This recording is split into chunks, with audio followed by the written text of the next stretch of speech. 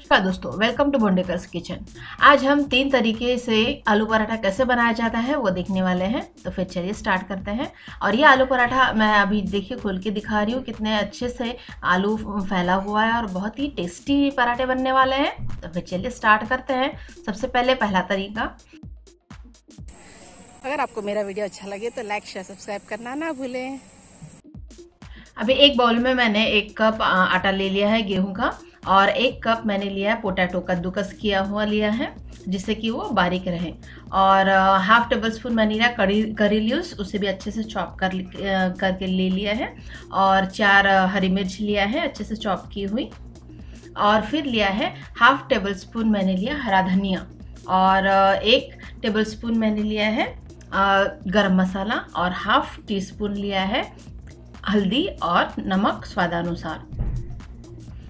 इस तरह से इंग्रेडिएंट्स ले ले और उसमें लिया है हाफ़ टेबल स्पून मैंने लिया उसमें, जो आमचूर पाउडर रहता है ना, वो। और इसे अच्छे से हमें अभी मैश कर लेना है। बहुत अच्छे से मैश कर ले। और इसका एक डो बना लेना है। डो बनाते वक्त इसमें पानी की ज़रूरत नहीं है, जो आलू में जो पानी रहता है, उसी से अपना अच्छा से डो बन जाता है। और अगर आपको महसूस हो ही पानी की ज़रूरत है ये डो बनाने के लिए तो हाथ में थोड़ा सा दो चार बूंद पानी ले, लेकिन मुझे तो इसमें ज़रूरत नहीं पड़ी। तो अच्छा से डो लगा के इसे अच्छे से दस मिनट के लिए रेस्ट करने दें। और फिर इसके हम पराठे बना लेंगे। वैसे जो अपन सिंपल रोटी बेलते हैं उसी की तरह हमें आ, इसके पराठे बेलने हैं। ऐसे पराठे ले ले एक लोई ले ले उसकी और फिर इसके पराठे बना लें। ये पराठे आप ज़रूर बनाएँ बहुत ही टेस्टी लगते हैं। और इसे आप दही के साथ या फिर चटनी के साथ या फिर सॉस के साथ भी खा सकते हैं। ब्रेकफास्ट में भी आसानी से बन जाता है।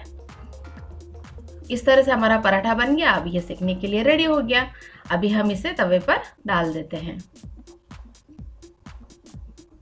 अब इसे अच्छे से दोनों तरफ़ से अच्छे से घी लगा ले। लेकिन अगर आप घी ना पसंद करते हो तो उसमें आप तेल भी लगा सकते हो। और इसे फ्लिप कर दे। और ये देखिए, दोनों तरफ़ से अच्छे से सीख भी गया और अच्छे से फूल भी जाते हैं ये। तो ये हमारा ऑलमोस्ट रेडी हो गया है पराठा बन के तो ये हो गया एक तरीका पराठा बनाने का।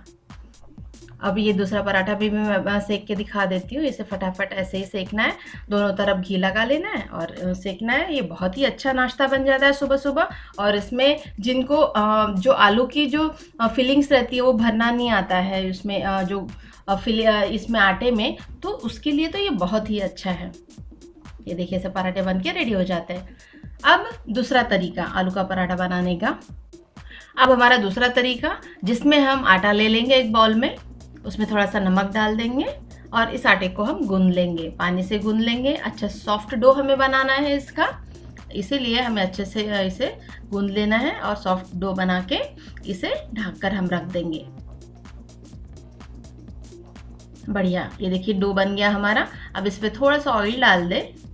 दो बूंद और इसे फैला दें और ढककर 10 मिनट के लिए रख दें।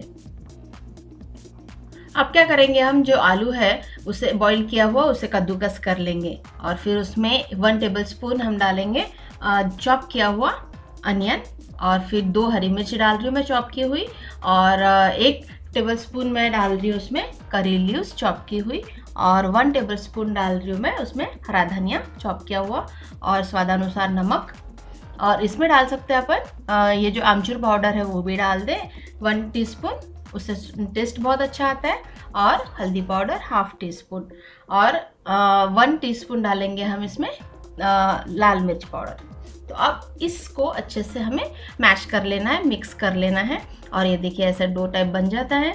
तो ये जो है आटा अभी हमें इसे फिर से गूंद लेना है। बहुत ही बढ़िया सॉफ्ट एकदम आटा बना हुआ है। तो इसमें दो लोइया हम बना लेंगे इसके आटे की। देखिए छोटी छोटी दो लोइया बना लेंगे। तो इसके दो रोटी हम बनाना है। इस टाइप में हमें क्या करना है? दो रोटियाँ सेम साइज़ की हमें बेल लेना है। जैसे ये मैंने रोटी बेल ली है अभी तो इसे मैं साइड में रख दूँगी। और अभी मुझे दूसरी रोटी बेलना है।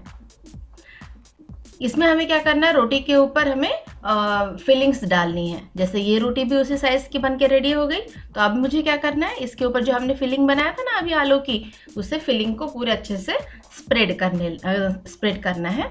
और इसके ऊपर ये जो रोटी है वो अच्छे से डाल देना है। बहुत बढ़िया। और ये जो एजिंग है, उसे अच्छे से ऐसे प्रेस कर लेना है तो वो चिपक जाता है अच्छे से। हाथ से भी थम से भी अच्छे से प्रेस कर ले। और थोड़ा सा हल्के हाथ से बेलन चला ले तो फिर ये बहुत ही अच्छा पराठा बन जाता है।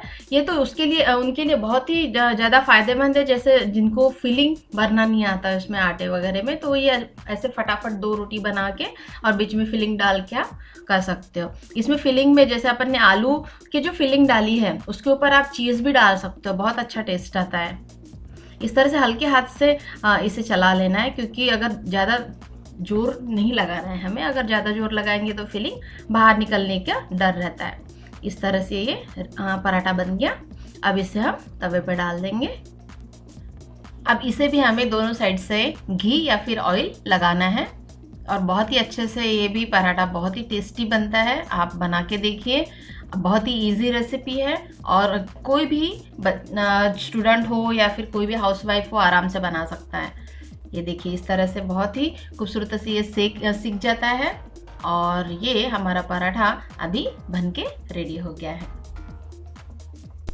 अब हम तीसरा तरीका देखते हैं पराठा बनाने का जिसमें हमें हमने जो आटा गूंद के रखा था उसका एक छोटा सा रोल ले लेना है और उसे ऐसे एक पूरी बना लेना है जो बीच में सेंटर में मोटी रहेगी और ऊपर के साइड में पतली रहेंगी और उसे ऐसे ही देखिए ऊपर लाते जाना है ऐसे आ, पूरी को फोल्ड करते जाना है और ये ऊपर आ जाएँगे जो पूरी है वो और जो फिलिंग है वो अंदर चली जाएगी और इसे थोड़ा सा ऐसे फिर प्रेस कर ले और फिर इसका पराठा बेल ले। ये कॉमन तरीका है बनाने का। ये ज़्यादातर लोग इसमें बना लेते हैं, लेकिन किसी किसी से नहीं बनता तो फिर आगे के दो जो मैंने वेज बताए पराठा बनाने के, वो आप बना सकते हैं। इस तरह से इसमें भी घी वगैरह लगा ले दोनों साइड से, घी या तेल लगाएँ और फिर इसे फ्लिप कर लें। बहुत बढ़िया। और ये भी हमारा पराठा बन के रेडी हो जाता है। तो फिर खाइए, खिलाइए और मेरे चैनल को सब्सक्राइब कीजिए।